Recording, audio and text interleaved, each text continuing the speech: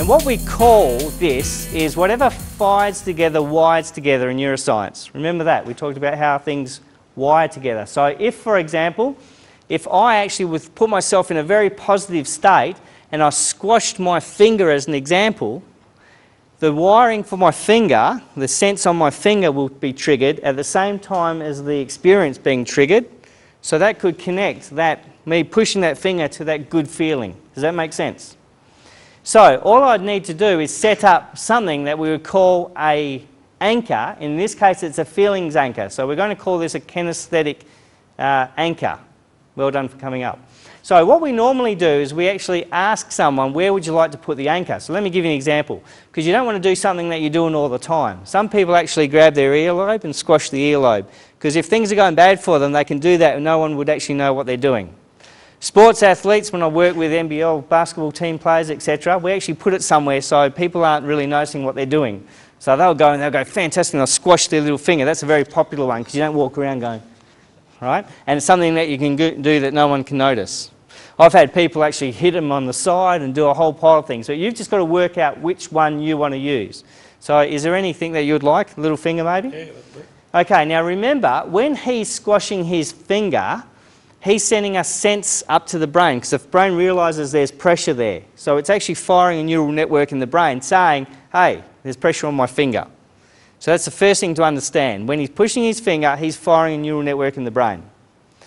Neuroscience tells us, again, when we fire, whatever we fire together, we wire together. So if I got him in that very positive state and he pushed his finger, what do you think happens to the neural networks? Firing together, they wire together. Okay, are you comfortable with sharing that experience with us? Okay, so what I want you to do, and I'm just going to write down, I need to know three things. I need to know what he's seeing. What else do you think? Hearing, and feeling. So we call this VAK. So what I'll do is when he's explaining it, I take a couple of notes and I try and ask him about it.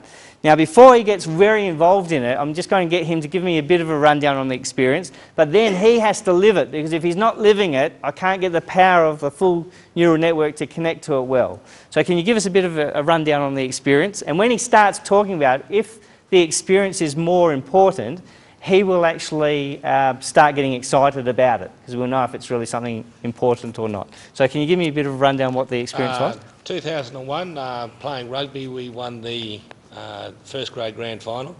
Great. It was the we'd won it. We'd won first and second the year before, but this year I was playing first grade.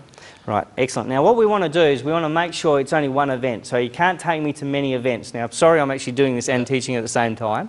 So as soon as he talks about the peak event, I don't then mind about what happened in the past. I've got to bring him to that one event. So he's going to have to remember a moment in time at that grand final. So when were you at the peak? What was the what at was the, the finish? Thing? at the finish. And what were you doing? What were you seeing? Um, I can see the grandstand. I can see the um, supporters coming on the field. It was a great sense of relief. It was also you know, a good sense of joy, but also the relief that you sort of got there and, and pulled it off. It was a fairly close game. And so the supporters were kind of jumping on the field, were they? Yeah, right. The, awesome. on the field, as you do. Awesome, absolutely.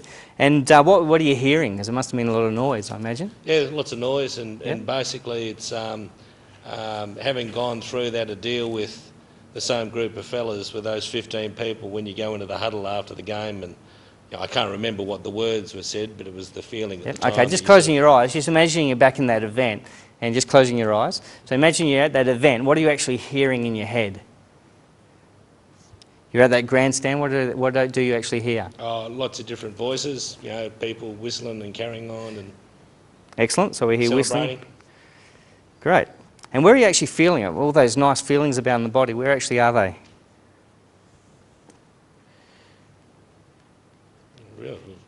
Sort of all through the body. Okay, so is it, can you explain any part of the body that you're actually sensing it? So if you imagine you're there, you're actually all excited about, it, you remember the screams and everything, where are you actually feeling it on the body? Probably shoulders and back. Okay, so you're feeling on the shoulders, are they lifting, are they pushing, what are they actually doing? Uh, there's a sort of weight coming off them because they've been battered. So, the, in some regards, the pain had gone away because it had been replaced with something else. Fantastic. Now, this is an event that he's well, well and truly connected to because when we start getting him towards it, You notice his physiology changes. But he's very self-conscious in front of you because he, uh, you know, it's not necessarily fun to be up here talking about something. So what we're going to actually ask him to do is he's going to close his eyes and we're going to try and get him to that event. So to put as much emotion into it to get you back into that event. When he's in that event, what do I want to do? I want to get him to squash his finger and what I'll actually say, anchor. And if I say anchor, what do I want him to do? Squash the finger. I'm going to keep him in that state because the more emotion he puts in, the stronger the anchor. If he's right up in that emotional state and then he anchors, he has now wired those two together, which means that when he's in a down state, he could actually use that to trigger him getting into a positive state. Makes a lot of sense, doesn't it? And afterwards, what I want you to do is you can go and suss him out next time you see him. Say, squash your finger, and you will actually see a change. You should actually see a physical change if he's anchored right now. And once he's set this anchor up, he should actually be trying to emphasize every time something wonderful is happening in his life, what does he do? Boom. He builds it because we need the anchors when things aren't going so well for us. Okay, awesome. So what I want you to do is we're going to close your eyes and I want you to try and get you back there.